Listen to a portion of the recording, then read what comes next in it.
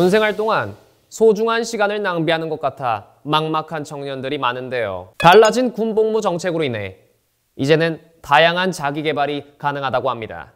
연 10만 원 한도의 자기 개발 비용 지원을 통해 자격 취득 응시 및 도서 구입을 통한 다양한 학습 활동을 지원하고 있으며 토익이나 탭스 등의 어학 능력 검정 응시료 50% 할인과 군인만을 대상으로 한 출장 시험을 지원하고 있습니다. 뿐만 아니라 군대로 인해 학업 단절을 우려하는 학생들을 위해 대학 원격 강좌 학점 인정제를 통해 온라인 강좌 수강으로 군 복무 중에서도 학점 취득이 가능합니다. 다음 소식입니다. 정부가 월 40만 5,700원이었던 병사들의 봉급을 54만 900원으로 무려 33%나 인상했습니다. 또한 전역 후 목돈 마련을 지원하기 위한 고금리, 자유 적립식, 정기 적금 상품인 장병 내일 준비 적금이 화제입니다.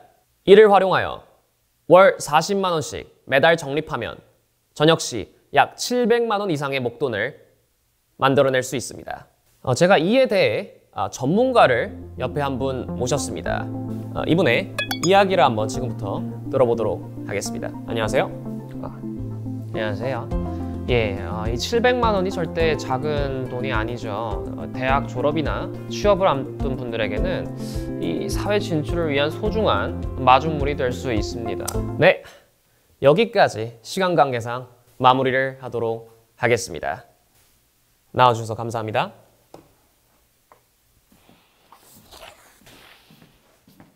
군 복무 중에서도 뛰어난 자기 개발을 보여준 한 장병이 화제가 되고 있는데요.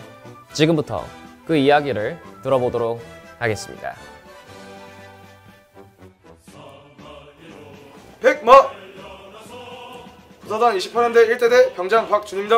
저는 군대에서 보내는 20대의 청춘을 누구보다 멋있고 뜨겁게 보내고자 노력하였습니다. 이런 저를 위해 군 간부님들께서는 병 자기개발 지원 제도에 관하여 설명하여 주셨고 저는 이를 활용하여 마음껏 자기개발을 할 수 있었습니다. 저는 작년 10월 한국사 능력 검정 시험에 도전하였습니다. 자기개발 비용으로 도서를 구매하여 연등 시간, 개인 정비 시간 등을 활용하여 꾸준히 학습하였습니다. 저는 제 모교인 연세대학교와 연계하여 군대에서도 대학 수업을 수강할 수 있는 원격 강좌 군 이러닝 제도를 통하여 3학점을 수료하였습니다. 군대에서 공부하다 보면 문득 사회와 거리가 멀어져 남들보다 뒤처지는 기분이 들기도 할 것입니다.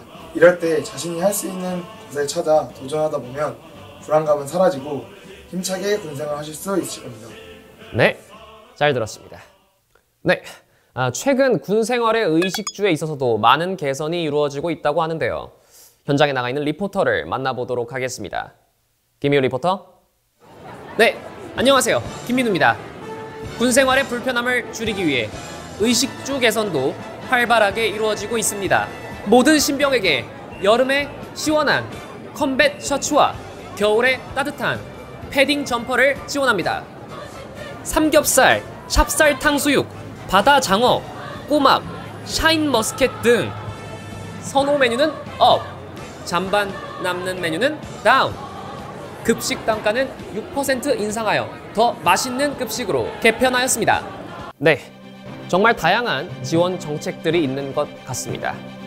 군 장병 여러분들께 힘내시라는 말씀 남기면서 이만 저는 물러가도록 하겠습니다. 시청해주셔서 감사합니다.